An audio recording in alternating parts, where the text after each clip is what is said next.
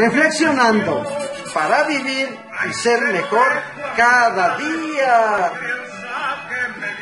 El amor es la preocupación activa por la vida y el crecimiento de los que amamos.